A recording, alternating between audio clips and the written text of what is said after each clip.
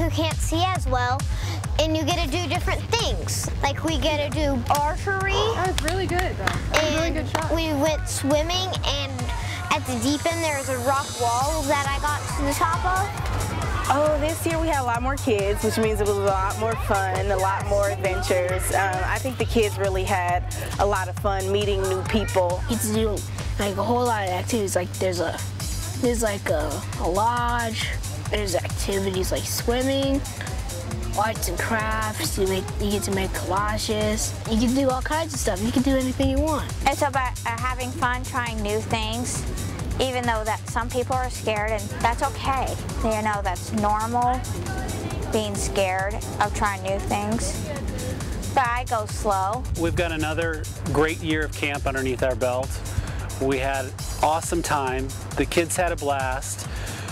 We had a wide range of abilities at camp this year, and we were able to challenge kids at each of their abilities. So we had kids that climbed three stories high. We had kids that made new friends. We had kids that did activities for the first time. With Campfire, we run program, day program, and resident camp program all summer. And this week, we have the opportunity to partner with Alphapointe and bring our, our Alphapointe friends out for an outdoor program experience. So we spend the week just doing typical uh, summer camp activities.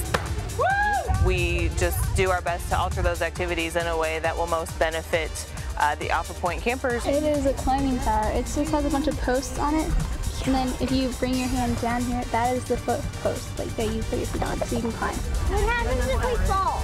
If you fall, you're tied on, and that's why we got that's why we got the harnesses and the helmets and everything. thought it'd be much, much, much harder than it was, but it it really wasn't. I I didn't think I'd go that high, but guess I surprised myself. I went to the top. Get back up there. You're very close to it. Just reach up with your left hand a little bit more. At moments it was pretty hard, but I mean there were some parts that were pretty easy, but most of the time it was a challenge. I did it. You know, I've seen grown men go up there and cry, and I've seen you get up there to the very top. Excellent job. Give me a high five. Yeah, buddy. Yeah. I think it's a great opportunity. Um, I was in a public school when I had um, my vision begin to fluctuate and so having others know what you're going through or being able to be like one of the normal kids is a really big deal. These kids a lot of times are the only student in their school who's blind or visually impaired and so they don't know how it is to, to make friends a lot of times. I don't hang out with many people who have a vision problem, except for here. And this is rare that I find uh, I'm hanging out with people somewhat like me. You think about young people who are visually impaired in their own schools, there may be nobody else like them in school. And when some of those other kids are uh, in PE or in different kinds of experiences, they're uh, segregated and they're having to uh, catch up to speed, uh, maybe learn Braille, uh, things of that nature. So this is an opportunity for them to have some shared experiences with other kids that are, uh, are having similar uh, difficulties with vision. The Nature Center, I saw some bones. I mean, yeah, like bones, like insides of animals. And it was kind of cool. It wasn't very disgusting. It was kind of cool. I like that because we got to touch a snake and we got to hold a box turtle. And we saw a barn owl, which was mostly all white. It was a girl. And we got to see a bunny, which was really soft. And I said it was like a little cloud. Some of these kids did things this week that they said they would never do. I heard two of them when we were at the Nature Center that said they would never touch a snake. Never ever touch a snake. And both of those girls that were on either side of me touched a snake. What did you think about touching that? Uh, too smooth. It was looking kind of weird. Were you scared to touch it? Yeah. Did I'm you touch it anyway? Yeah, I just took I just took it slow. For any individual to say, I'm not going to do it, I will not do it, I'm too scared to do it, and then do it, I think is a huge feat. Especially these kids who are blind or visually impaired. They have all kinds of challenges. We have no idea how many challenges they face throughout their day. So many things that they'll say, I'm not going to do. And this week we can bring some of those opportunities to them, maybe give them some encouragement.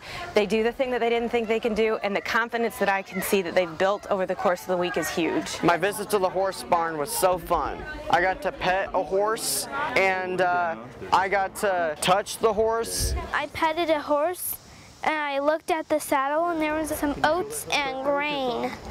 That smelled like sweet. That was amazing. The horse was amazing, especially the police officers. And my dream job when I grow up is I want to be a police dispatcher with a police department. Well, 911 dispatcher, I should say. We had all, almost all of our campers from last year returned, and uh, they were they were pleased to come back. They just had a blast, saw their old friends, made new friends. We can see those kids not only grow in stature, but also grow in their social skills and their ability to, to get along and communicate. And we just saw really great strides in those kids from year to year. We went swimming at Swope Park Pool. I loved it. Like, I was like swimming underwater the whole time and jumping in like a million times a day. I really like to swim without a life jacket. Miss Chris and she really helped me a lot, and I like that because I, I, I, think I've always wanted to swim without a life jacket. So swimming without a life jacket was really fun. I haven't swam without a life jacket before. I don't. I don't think. I don't remember. I know when I was really little, I didn't have a life jacket. My mom would hold me in her arms, and we would swim, she'd hold me. I, did, I didn't want her to hold me because I wanted to go swim, but. I didn't have a life jacket, so it wasn't really safe. Think about kids who, for the first time, uh, are doing archery, are uh, swimming, are um, doing a nature walk and, and touching and feeling new things that they've not seen or felt or, or touched before. It's just a neat thing for, for these kids to have those types of experiences. At the same time, they're learning life lessons, socialization skills, things that are going to make them more competitive when they're ready to go off to college, when they're ready to uh, get their first job. Uh, those types of experiences that are soft skills that are not necessarily taught in school. This is proof that even though you have a vision problem, try new things and persevere and just get to know your surroundings and how to use stuff. Sometimes there's obstacles or something. You just have to get away, like find a way to get away from them. And your friends can help you a little along the way. Me and Abby and Lily and Megan and Hunter and I guess we're all friends.